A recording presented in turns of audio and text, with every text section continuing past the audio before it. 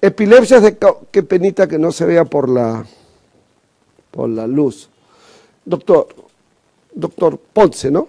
¿Puedes apagar un segundito solo para que vean la foto? Disculpa. Ahí no, solo un minutito y luego la...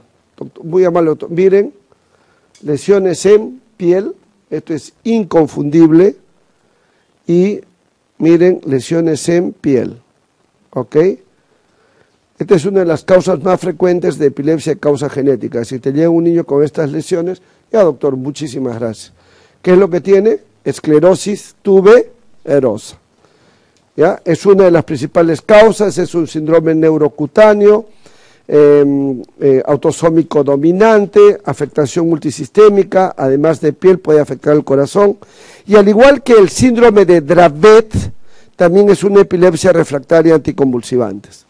Entonces, como es una cuestión a veces hereditaria, acá está el gen mutante para esclerosis tuberosa, C1 o C2. ¿Ok? Si te pones desorden neurocutáneo con lesiones en piel y que es epilepsia refractaria anticonvulsivantes, pones esclerosis tuberosa. Pero si en la pregunta te dice epilepsia refractaria y no pone lesiones en piel, puedes marcar Dravet. Ahí está la diferencia. Uno es esclerosis tuberosa, el otro es Dravet. Ya voy hablando de dos epilepsias refractarias, ¿sí? Así que esta es genética, vamos a ver esta estructural o metabólica.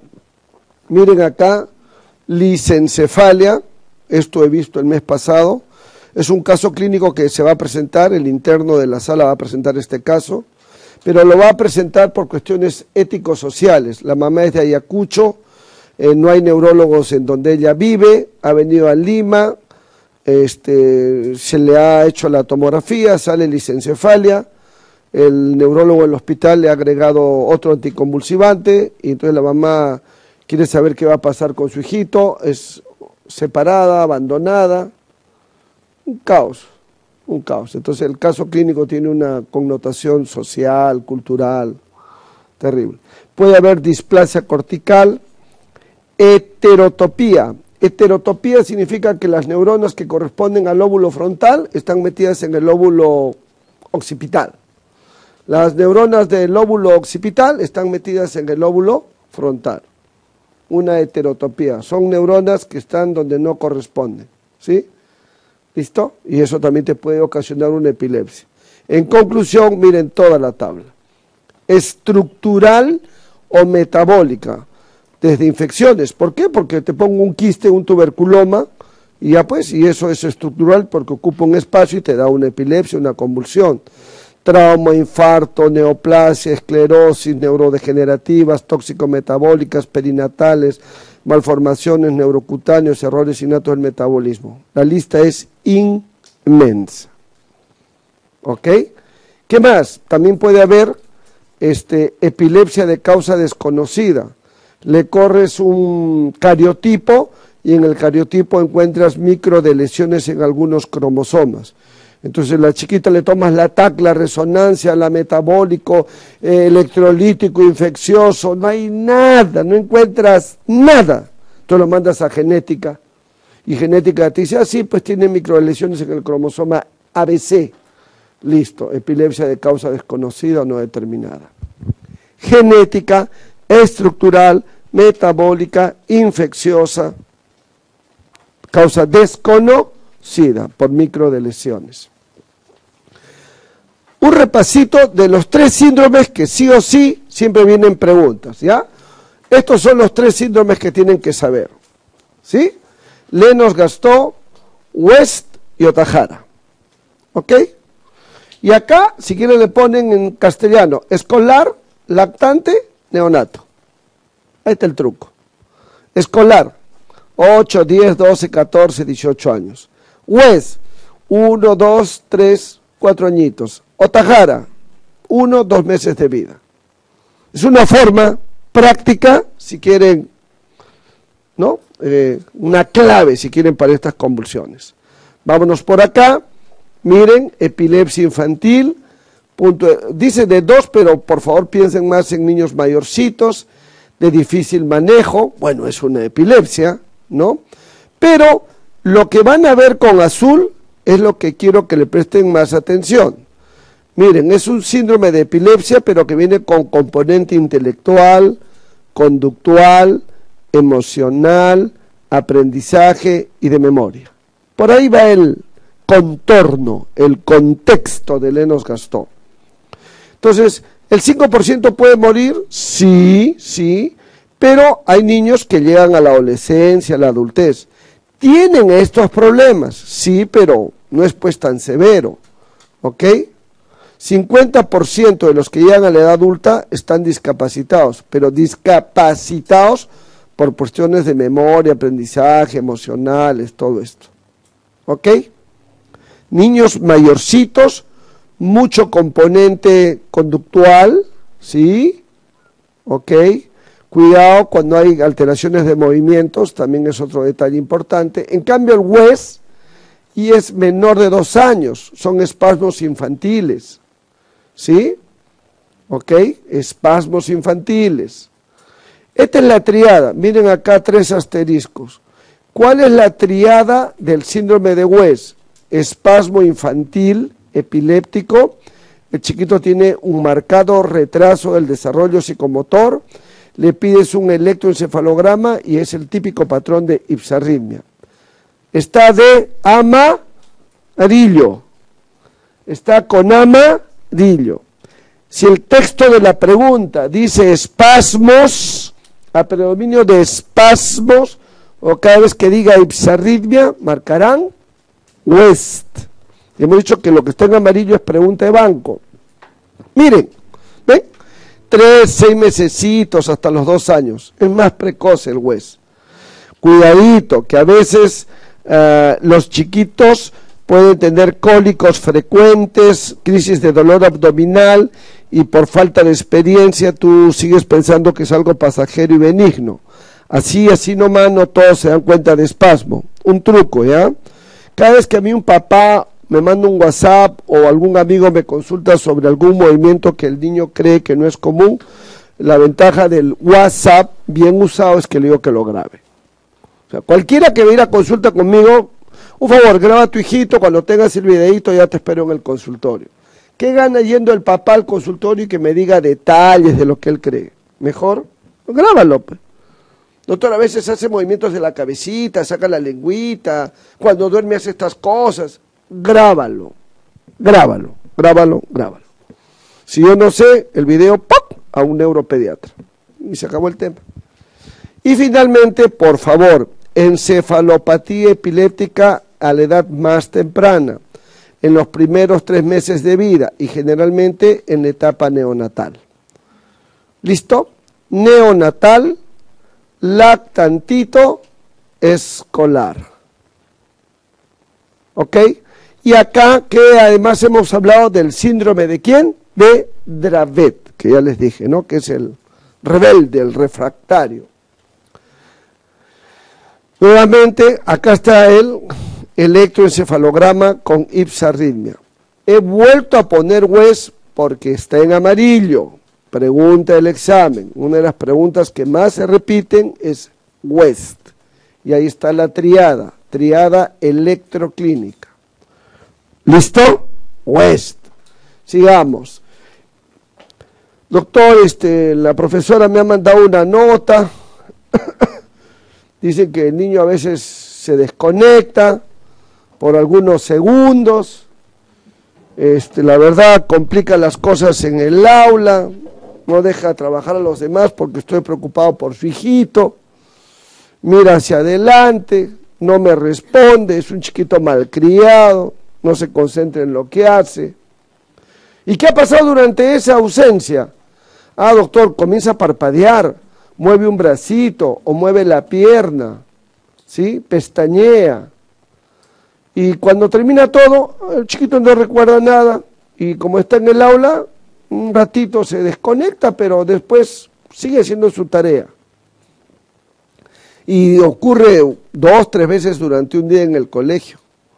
Pero una vez que se recupera, él sigue atendiendo normal. Solamente durante el episodio se desconecta. Y la primera que se da cuenta, ¿quién es? La maestra. A veces no es la mamá, el papá o el pediatra de la consulta externa ambulatoria, es la maestra. Algo no cuadra, chiquito se desconecta. ¿Ok? Y la profesora dice, pero a mí no me hace caso. Entonces hay que tener cuidado. ¿Qué es?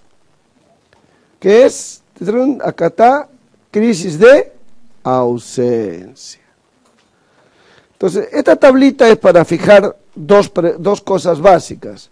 Crisis de ausencia. Droga de elección, por favor, disculpen, sigue siendo la etosuximide. Muy bien. Crisis de ausencia, droga de elección, etosuximida. Y si es una crisis de ausencia atípica que no responde, le puedes agregar ácido valproico. ¿Ok?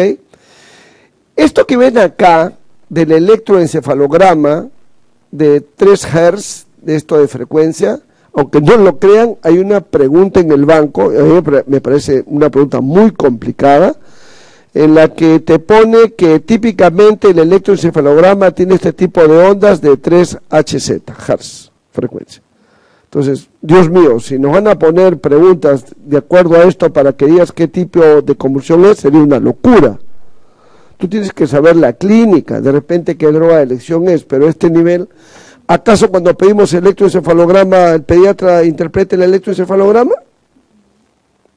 Yo no interpreto ningún electroencefalograma, para eso hay neurólogos en el país. Yo quiero que me digas qué es, pero un electrocardio sí, pero un electroencefalograma Doctor, ¿no va a haber electroencefalograma? No, no lo va a ver. Esto es el neurólogo. ya, vamos. Creo que por acá vamos cerrando. Este es otro tipo de epilepsia. Miren, convulsiones, por eso se llama benigna, rolándica benigna. Suele ceder en la pubertad. Empieza focalmente y luego se generaliza. Ojo, conservan la conciencia y es a menudo en la noche rolándica benigna. En el electroencefalograma se hace el diagnóstico. Se hace el diagnóstico. ¿Justo dónde? En la región rolándica. Pero es benigna, se ve en la pubertad. Mientras tanto, como es una epilepsia, el tratamiento de elección es carbamazepina. Hasta aquí, dos epilepsias en las que el tratamiento de elección no ha cambiado en los últimos años. Para crisis de ausencia, etosuximida. Para rolándica benigna, carbamazepina. Eso sigue todavía vigente. El resto depende cómo responde el paciente. ¿Ok? Nos vamos a migraña. ¿Hay migraña? Sí, cada vez más frecuente. Y de intensidad 1 a 10, los chiquitos llegan con 7, 8, 9. Sí vemos, sí vemos. ¿Ok? Alrededor del 6% en adolescentes, mientras que es 18% de los adultos. Perdón, perdón, otra vez. Alrededor del 6% en adolescentes y del 18% en los adultos sufrieron su primer episodio antes de los 10 años. No había terminado bien la frase. O sea, hay muchos niños que antes de los 10 años ya debutan con sus cefaleas aisladas, pero que terminan siendo migraña. Generalmente el dolor es bilateral, estamos hablando en pediatría, bilateral, la duración es más corta que en el adulto, a veces puede ser una hora, en contraste con las cuatro horas que es para los adultos. En el niño no hay tanta aura, ¿no? Como la fotofobia, las náuseas o empeoramiento por actividades físicas. Si el chiquito va al colegio le empezó la cefalea a la hora del recreo. A veces puede coincidir que esté en la semana de exámenes, o sea, ahora en julio, ¿no? Entonces chiquito por cuestiones de estrés no necesariamente tiene fotofobia, náuseas, vómitos, simplemente llega a la emergencia porque le duele mucho la cabeza. ¿Ok? Ahora, en algunas veces, algunas veces, algunas veces viene con vómito, con dolor abdominal o con mareo. Algunos hacen lipotimia también, ¿ok? Ahora, una cosa es la migraña y también miren esto de acá, síndromes periódicos de la infancia o equivalentes migrañosos. Son niños en los que son vomitadores cíclicos, tienen migraña abdominal, este diagnóstico existe y hay vértigo paroxístico benigno en la infancia. Son chiquitos que cuando tú abres la pantalla para atenderlo en el tópico de emergencia. Como en la pantalla aparece todas las veces que ha venido en el último año, tú ves que ha venido en julio y ves que ha venido cuatro veces de enero a junio. Y encuentras los diagnósticos. Y en los diagnósticos hay vómito CAD, dolor abdominal, vértigo, lipotimia, cefalea. Entonces, eh, no sé si me cuentan, ahora toda la mayoría de custodios es computarizado. Todita la columna a la derecha, que en niños está vacío, en otro dice clorfeneramina, paracetamol, en otro dice salbutamol, prednisona. Pero estos chiquitos, todo es síndrome, EAD, EAD, dolor, migraña, cefalea, lipotimia. Ya es un chiquito que tiene muchos equivalentes migrañosos. Es el chiquito que nadie quiere ver. Pero. No es que es lo mismo de siempre. Ya no sabes qué hacer. La mamá, doctor, le va a poner metamisol en ampolla, no porque siempre lo que le ponen. Doctor, ¿con grabol o sin grabol? La mamá se siente y te está dictando el RP. Así es. Entonces, ya pues señor, ¿para qué viene? Pues mejor usted colóquele en su casa, ¿no? Cuidadito. Equivalentes migrañosos, vomitadores, dolores abdominales que la ecografía, tres ecografías abdominales normales, no hay alergia a la proteína de leche vaca, no hay parásitos, ecografía renal normal, no hay hito, no hay estreñimiento, no hay nada. ¿Qué es? Migraña abdominal. Se marean, tienen lipotimia.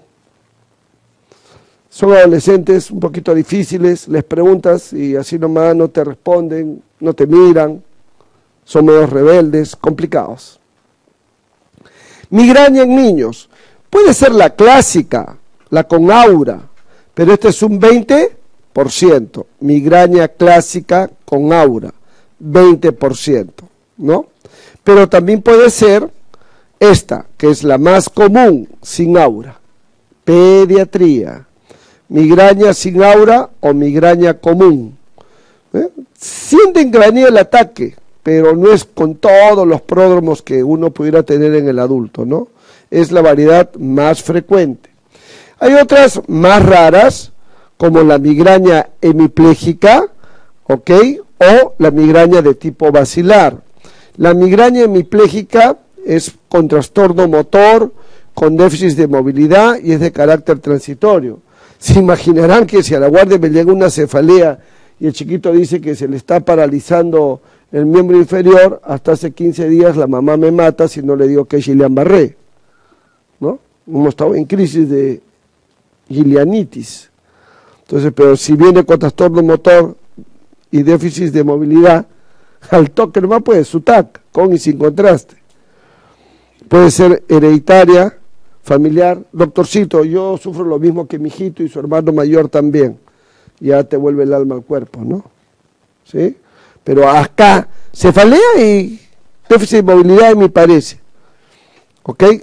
Cuidadito. La vacilar, por favor, acá hay un problema circulatorio a nivel de las arterias vértebro-vacilares y estos chiquitos tienen síntomas o manifestaciones totalmente fuera de lo habitual para una cefalea. Disartria, hipoacusia, parecias en diferentes músculos, alteración de la conciencia. Todo es normal, todo, todo, todo, pero siempre anda sufriendo de eso. Ah, piña, le tocó su migraña tipo vacilar. ¿Sí? Es como la migraña del adulto, la migraña en racimos, que es la terrible, la que no alivia con nada. Ok, clásica, común, hemipléjica y de tipo vacilar. Hay tratamiento no farmacológico, ¿ok? Eh, cambia el estilo de vida, eh, sácale el televisor del cuarto, quítale el celular, que vea poca televisión, trata de que duerma más tardar 10 de la noche. Eh, los lunes, miércoles y viernes, eh, como tiene talleres, almuerza a las 5. Los martes y jueves almuerza a las 2 y media. cuatro días a la semana, doctor, peleo con él porque no toma desayuno. A las justas este, se come medio pan y se va al colegio. Pero yo le doy, doctor, para que en el primer recreo ya tome el desayuno. Evitar estrés, o sea, que se vaya a vivir fuera de Lima, ¿no? Este, digo, ¿no? evitar consumo excesivo de alimentos desencadenantes, o sea, prohibido comer mientras vea televisión. La mayoría que hace cuando va a ver televisión, no sé qué pasa, ¿no? Pero debe haber algún, debe haber alguna conexión entre el control remoto y la gastrina, pues una cosa así, ¿no? Chapas el control remoto y te acuerdas de la cocina y estás pensando que hay un refrigerador. Si se ríen, es por algo. Es mejor que te vayas a la cama, a tu mesa de noche con tu vaso de agua y tu fruta. no vayas con nada a los que comen viendo televisión en el cuarto. No vayas con nada. es tu defecto. Tranquilo. Antes de ir a... Yo lo hago. ¿eh? Cuando voy a ir a mi cuarto y sé que voy a ver el domingo en la noche la tortura de las noticias, voy con mi vaso de agua y una fruta. Satanás ya no me dice nada. Tranquilito, chapo la fruta, tomo el agua. Se acabó, bloqueé. Si no le dices eso a la mamá, porque te olvidas de eso, ya pues haz lo que hace todo el mundo, ¿no? Dale su aires, triptanes, ¿no? Hay varios, pero ojito, ojito. Miren, mayor de 12 años. ¿Sí? Ojito, ojito. Ergotamina, mayor de 6 años. No todos los medicamentos que se usan para adultos se usan en niños. Entonces, para el tratamiento de la crisis, este, acá tienes dos AINES, tienes triptanes, pero estos que se mencionan acá, que son muy buenos a partir de los 12 años, miren la ergotamina, cuidadito que puede dar cefalea de rebote, no abusar en mayores de 6 años. ¿Ok? ¿Ok? Hay ergotamina, como ustedes saben muy bien, que vienen combinados con cafeína, otros vienen combinados con analgésicos. Nosotros en la emergencia a veces colocamos metamisol en ampolla. ¿Cuánto te duele de 1 sobre 10? 8, 9. Ya, pues, metamisol. Ahora, ¿hay medicación preventiva? Sí. que se usa en primera? Propanolol, ¿no? ¿Se acuerdan? El Inderal. Propanolol. Hay bloqueadores de canales de calcio. Por favor, esto ya no lo maneja el pediatra, esto lo maneja el neurólogo. Esto es solamente información, porque esto es marco teórico. Miren la mitriptilina, miren algunos anticonvulsivantes como medicación preventiva. Y esto que es algo, digamos que lo puse por cultura, me puse a tratar de investigar qué hay de nuevo en adultos. Miren, anticuerpos monoclonales humanos dirigidos contra el péptido relacionado con el gen de la calcitonina. Esto tiene que ver con una respuesta vasodilатadora y el dolor, por lo que su inhibición contribuye a que no aparezcan crisis de migraña. Esto ha sido aprobado recién el año pasado. No tenía ni idea de que había este tipo de medicamentos, ¿no? Ya anticuerpos monoclonales. Yo puedo hablar de anticuerpos monoclonales para bronquiolitis, ¿no?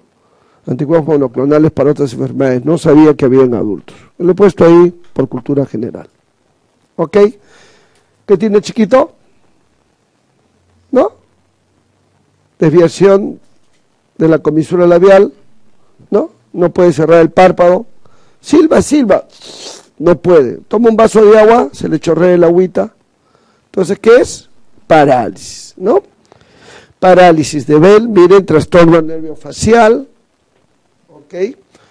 O séptimo par craneal, trastorno nervio facial, o séptimo par craneal, que es el que controla el movimiento de los músculos de la cara, y hay debilidad o parálisis de estos músculos. Esto vemos si no es tan frecuente, ¿no? Puede afectar a cualquier edad, es más común en adultos, pero también puede afectar a niños menores, también puede afectar a niños. Acá hay una inflamación del séptimo par craneal, eh, el nervio se inflama por el área por donde manda todas sus ramas, se inflama, ¿ok? ¿Por qué puede ser? Lo más frecuente a la cabeza, postviral. Cuidadito con el herpes, esto lo veo hace tiempito, pero puede ser cuidadito con el antecedente de otitis media aguda, ¿no? que es por donde va el nervio facial. Pero a la cabeza postviral, yo diría otitis y luego alejadamente los otros dos. Este es un dibujito, miren acá, parálisis facial periférica, si acá está el sistema nervioso central y estamos en la médula, la lesión del nervio facial es a nivel periférico. A diferencia de acá, donde es a nivel central. Bueno, es obvio, ¿no? Pero por si acaso. Acá está el nivel de la lesión para la parálisis facial central, ¿ok? Y acá está en la periférica. Miren cómo acá toma todo, todo. O sea, chiquito en la periférica, desde fruncir el ceño hasta la comisura labial, está alterado. En cambio, en la central, miren la sombra en la cara. Por eso puse esta imagen, ¿no? Miren acá el compromiso, es más comisura labial. En la central, el chiquito puede fruncir el ceño, puede obedecerte para que haga apertura ocular o no, acá no hay tanto problema. Periférico, toda la mitad de la cara. Central, acá está el cuartito. ¿Sí? Una foto muy didáctica, muy práctica. ¿Sí? ¿Ok? Entonces, ¿cuál es la etiología? La etiología de la parálisis facial periférica. Puede ser idiopática, idiopática, y la idiopática es 70%, de inicio brusco. Pero aparte de eso, dentro de las que quedan, fuera de las idiopáticas, la más frecuente es la viral. ¿Ok? La viral. Cuidadito con la parte traumática, el chiquito recibió un pelotazo, ¿ok? Un pelotazo en la cara porque es arquero y le puede efectuar. Ojo, cuidado con la tumoral. Esta es brusca, en cambio la tumoral, ningún tumor pues es brusco, es más progresivo, más progresivo. Nuevamente infecciosa, a la cabeza el loma, el virus del herpes, cuidadito con los otros virus. Puede ser también de causa inmunológica, de causa inmunológica, o puede ser isquémica. Gracias a Dios, la mayoría de las parálisis periféricas, ¿cuáles son?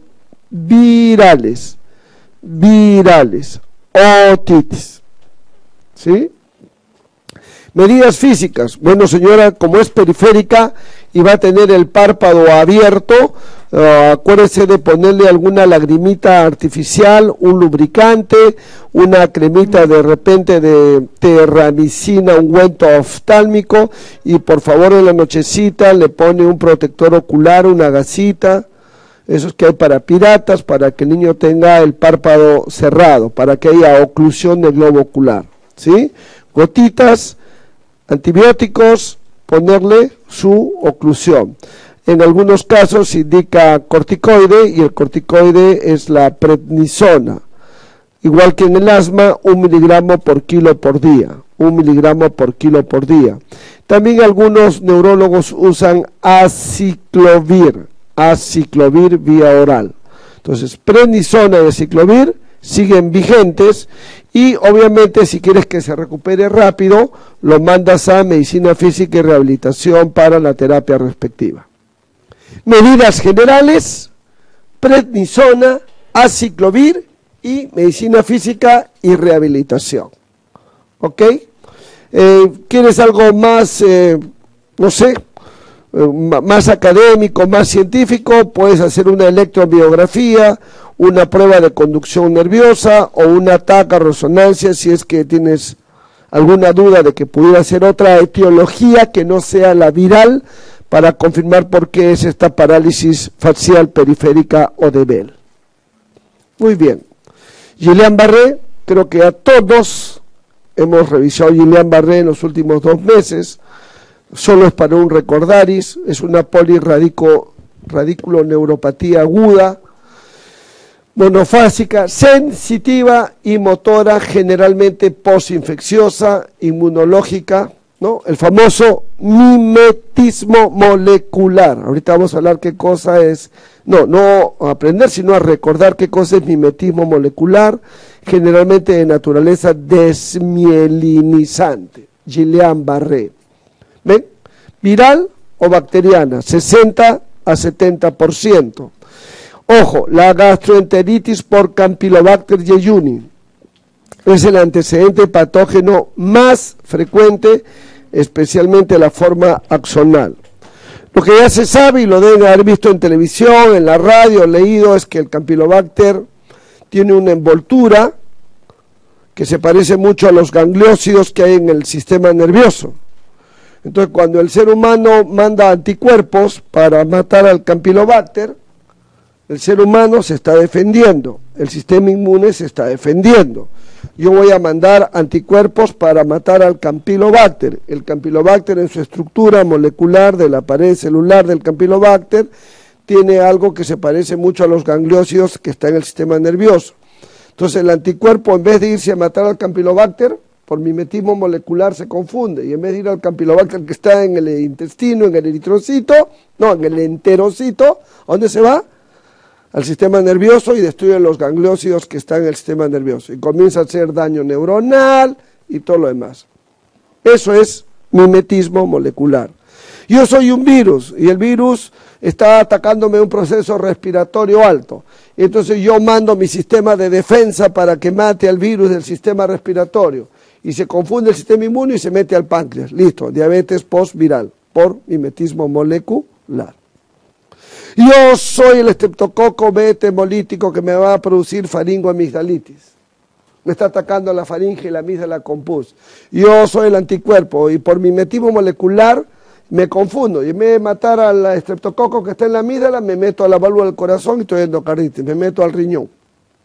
Mimetismo molecular. Ese es el Guillain-Barré. El sistema inmune se confunde, se confunde. Ataca lo que no debe atacar, pero no lo hace de mala fe. Así es. Guillain-Barré, obvio, debilidad simétrica. Por favor, el clásico, ¿no? Lo clásico, lo clásico. Debilidad simétrica de miembros inferiores, con o sin parestesias.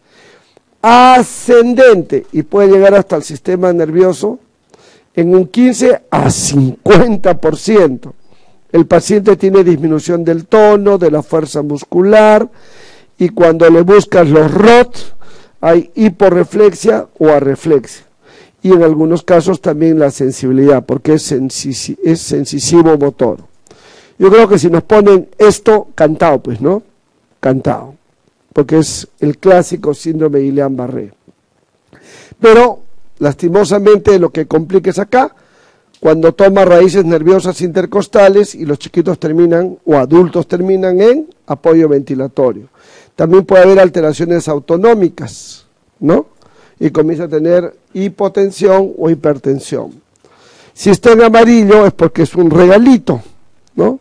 Diga de todas las consideraciones de laboratorio, ay, no, doctora, eh, ¿cuál es la Manifestación clásica en los hallazgos de líquido cefalorraquídeo, la disociación entre proteínas y células.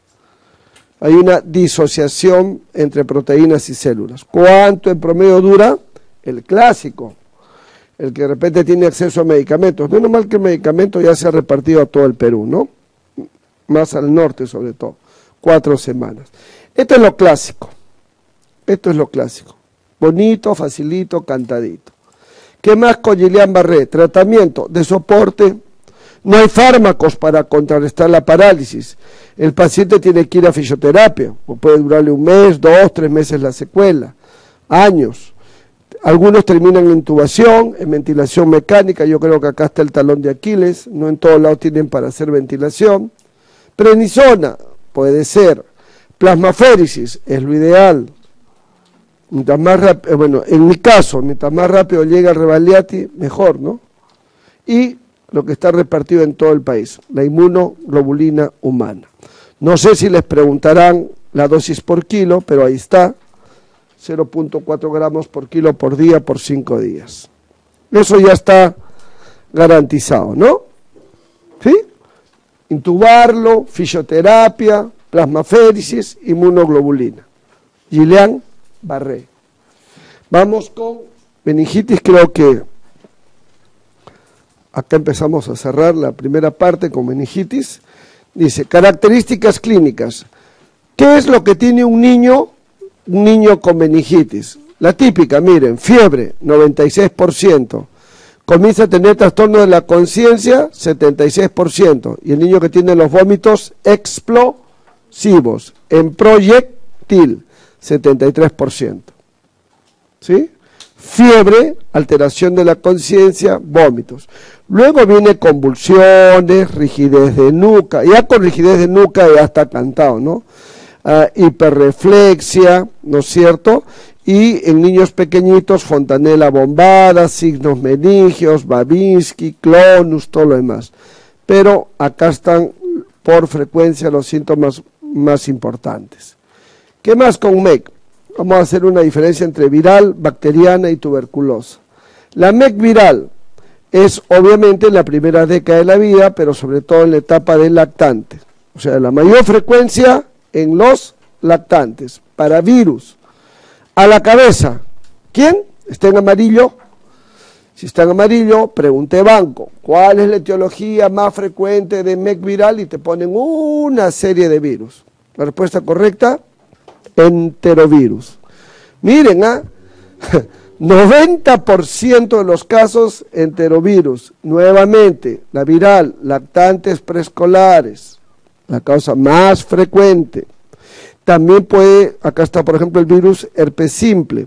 Ese sí es un poquito de pronóstico medianamente reservado. Miren los lóbulos que toma.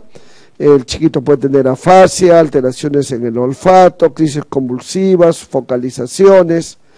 Ahí sí tienes que usar antivirales. Ahí sí tienes que usar antivirales. Acá no necesariamente. ¿Ok? Antivirales. Antivirales. Cuidadito con el herpes simple. Cuando es bacteriano, a la cabeza en neonatos, E. coli, en niños un poquito mayorcitos, además de este estreptococo, sigue el E. coli, cuidadito con listeria. Esta es la razón por la que en niños pequeños menores de tres meses, en la doble cobertura antibiótica, siempre que se da, AMPI. ¿No han visto? Siempre AMPI amica, AMPI genta, siempre la AMPI es para cubrir listeria. Y en niños mayorcitos, esto es. O de seria meningitis, que yo por favor les pondría que pongan más acá en etapa de adolescente. Pongan acá más adolescentes. Más adolescentes. Influenza y neumococo. Lo que pasa que el hemófilus influenza, pongan acá casi, casi, casi ya no hay. ¿Por qué? Por la vacuna Penta. En la vacuna Penta está hemófilus influenza tipo B. ¿Ok? Este es el que va a la cabeza. Ahora, si me preguntan, doctor, ¿desde cuándo no veo una NEC bacteriana por cualquiera de estos dos? 10 años. De repente hasta 15 años. Ya no veo. ¿Por qué no veo? Gracias a Dios. Acá, ¿qué vacuna coloco? La penta. Dos, cuatro, seis meses. ¿Listo? ¿Y por qué no veo ya por neumococo? Porque acá coloco la vacuna 2, 4 y 12 meses, neumococo. Perú, neumococo, 2, 4, 12 meses. Penta, 2, 4, 6. Entonces, cada vez hay menos, cada vez hay menos. Y esta se ha desplazado a los adolescentes, más en otros países, porque el adolescente cuando termina el colegio en otros países sigue viviendo con el papá y mamá dónde se va? A las universidades, y las universidades viven. Se juntan 8, 10, 12 adolescentes. Si son muchos adolescentes juntos, alcohol, droga, tabaco, factores de riesgo para meningitis. Todo lo que sea hacinamiento, factores de riesgo. Muy bien. Ok, listo. Miren el líquido cefalorraquídeo. ¿Qué es lo normal? Lo normal, menos de 10 células. Y si es que hay células, tienen que ser mononucleares. Y lo normal, menos de 45 en proteínas. Y este es el rango de glucosa, de 35 a 130. Es un rango demasiado amplio, un intervalo muy amplio. Yo diría pues ya entre 35 y 60, 35 y 70. Ya, pero eso es lo normal. Cristal de roca. El líquido es cristal de roca. Entonces, acá está bacteriana, ¿sí? Obvio. Miren la cantidad de células. ¿Quién prevalece? Bacteriana sobre la vírica y tuberculosa, más de mil células. Obvio, si es bacteriana, es a predominio polimorfo nuclear. Proteínas elevadas y glucosa disminuida. Si se dan cuenta, la TB con la bacteriana es casi igual. El truco es el siguiente, repito, entre bacteriana y tuberculosa es casi igual. En ambas la glucosa baja, pero más en la TB. En ambas la proteína sube, pero más en la TB. Lo que pasa que la celularidad en tuberculoso generalmente es a predominio mononuclear, en cambio este es polimorfo nuclear. De ahí me agarro. Predomina mononucleares, mm, pero el resto tiene eh, disminución de la glucosa y opio en entebe. Además el antecedente, ¿no? En cambio, en la viral, la única en la que la, la glucorraquia se mantiene o está subidita.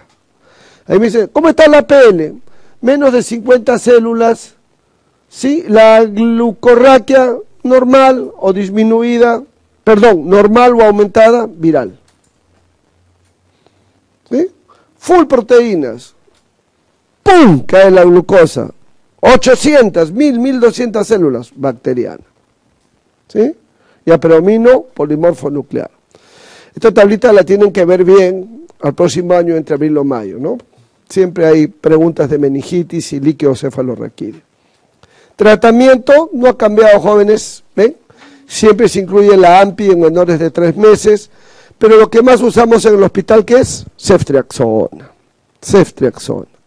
La dosis de otitis, 50. La dosis de NAC, 75-80.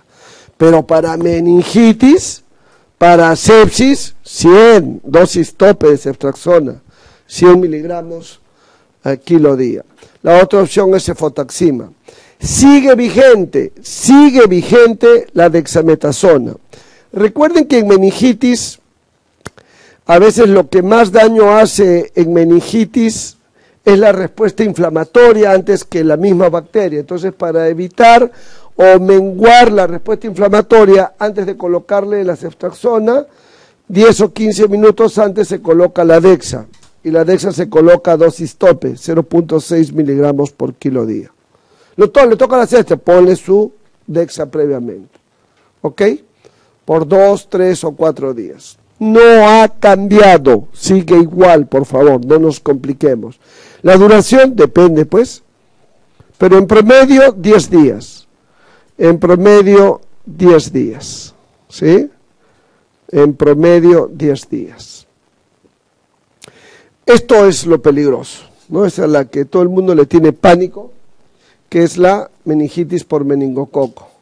No van a pensar que el niñito te llega así, el chiquito te llega con cefalea, náuseas, vómitos, fiebre, postrado, compromiso general. Entonces, uy, puede ser meningitis y lo empiezas a tratar como si fuera una común y habitual, ¿no? Pero si te llega así, uy, uy, uy, cruzan los dedos, ¿sí? Muy bien.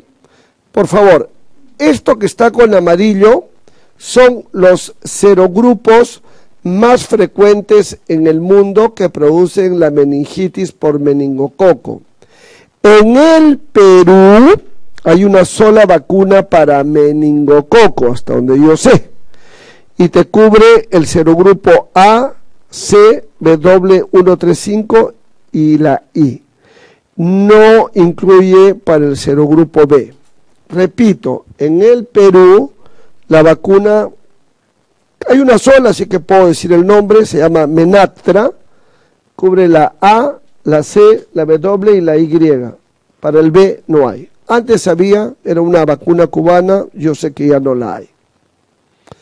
Entonces, en el Perú, el que quiere, se coloca en forma privada la vacuna. Se coloca a partir de los nueve meses, son dos dosis. En Estados Unidos hay vacunas para meningococo desde los dos meses en Estados Unidos, cuando tú eres un universitario y tienes que irte ya a vivir, pues asignado todo lo demás, te colocas la A, C, W y la Y en una vacuna y aparte te colocas la B que viene solita.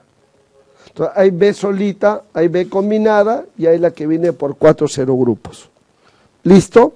¿Hay prevención para meningococo? Sí la hay. En el Perú, Menatra. En el Perú, dos dosis a partir de los nueve meses. ¿Está en el MINSA? No, pero el que desea se la puede colocar. ¿Qué me preocupa el meningococo? Que es grave. ¿Qué me preocupa el meningococo? Que puede ser fulminante. El famoso síndrome de Waterhouse-Friedrich, ¿no? Te puede matar. ¿Hay vigilancia epidemiológica? Sí la hay. Cuando hay un caso es lo que sale en la televisión, ¿no? Vamos a fumigar, higiene, todo un escándalo, ¿no es cierto? Y entonces siempre hay que estar atentos, hay que estar atentos a qué cepa ingresa. a que ese ingresa. Hay que notificar. Notificación inmediata. ¿Ok? ¿Qué pasa con el meningococo?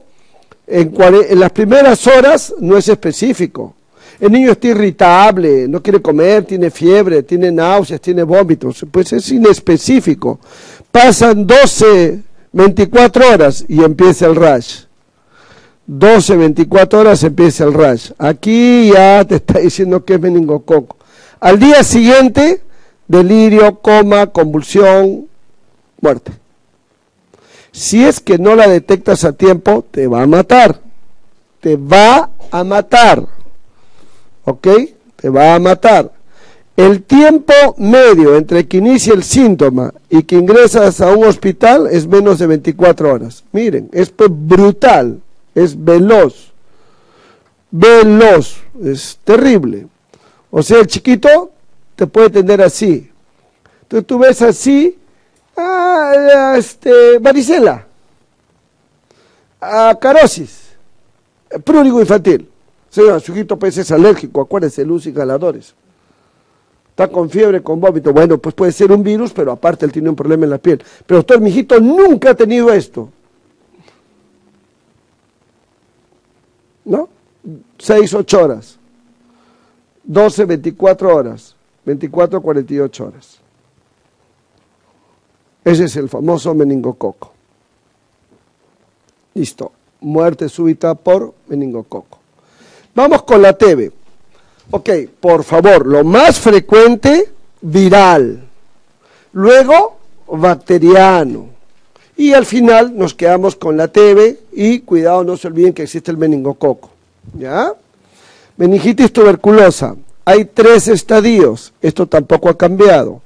El estadio 1 es inespecífico, totalmente inespecífico. La MEC-TB en estadio 2, la clave es focalización. Y en estadio 3 la clave es coma. Por favor, no van a pensar que esto es lo único.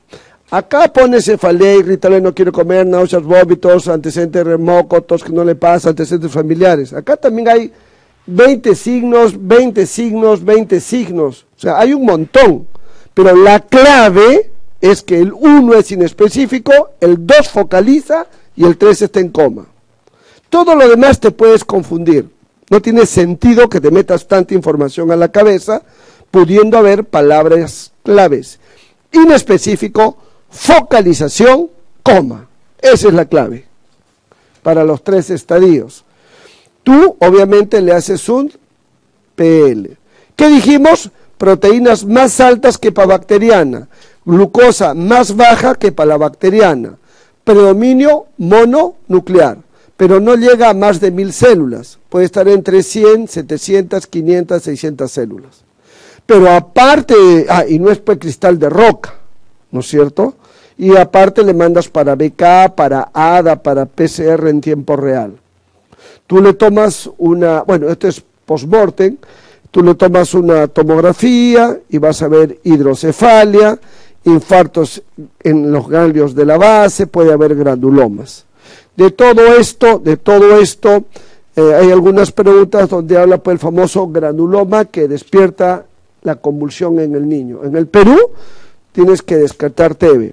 Ahora, doctor, un granulomita, diagnóstico diferencial entre tuberculoma y neurocisticercosis. Dime cuán, eh, o sea, hay como un halo. Los que hacen informes de tomografía miden el halo inflamatorio. Van a disculpar, no me acuerdo si es 1 o 2 centímetros.